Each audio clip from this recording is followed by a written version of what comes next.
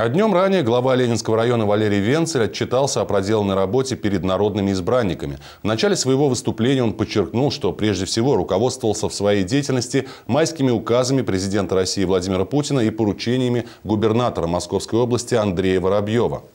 Основными направлениями в нашей работе являлись, естественно, привлечение инвестиций, создание новых рабочих мест, обеспечение доступности дошкольного образования, медицинских, медицинского обслуживания, поддержки педагогов, врачей, ветеранов, других льготников, создание условий для занятия физической культурой, спортом. Эти вопросы являлись приоритетными в нашей работе.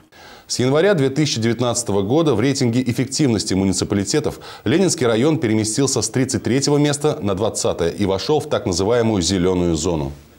Район сильный за счет своих сильных поселений. В прошлом году мы построили 5 детских садов, 4 из них открыли и приняли на 1700 детей больше, чем в 2017 году. Важно, что в рамках исполнения майского указа президента в садах-новостройках 225 мест было открыто для детей от 2 до 3 лет. В этом году строительство социальных объектов продолжится. Также планируется обновление транспортной инфраструктуры. К 90-летию Ленинского района разрабатываются планы по благоустройству центральной части города. Возрастут также и расходы бюджета на социальную поддержку льготных категорий населения. В минувшем году в одном только поселении Володарской они выросли с 800 тысяч до миллиона с лишним.